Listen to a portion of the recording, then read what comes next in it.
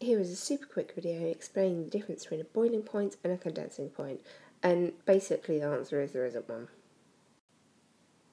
So let's say our hypothetical compound has a boiling point of 12 degrees C.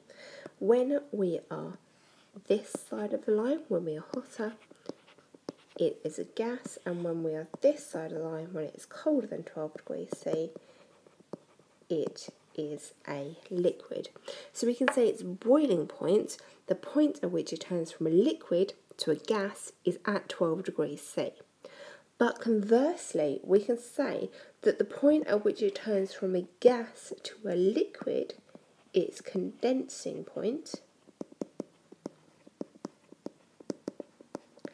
is also 12 degrees C because this is the transition point. It's not as if it condenses at 11 degrees C and it boils at 13 degrees C. Both things happen at 12 degrees.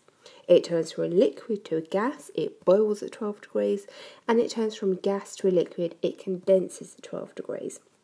Now, this is confusing because you think two things are happening at once, but generally only one thing is going to be happening because we're either going to be heating something up and we're going to be boiling it, or we're going to be cooling something down and we're going to be condensing it.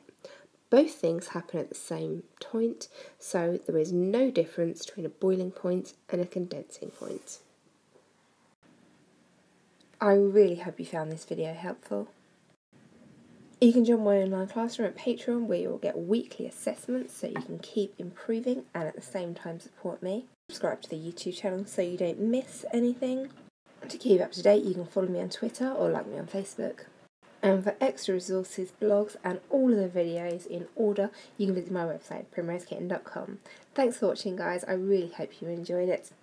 Any comments, questions, or corrections? down below please.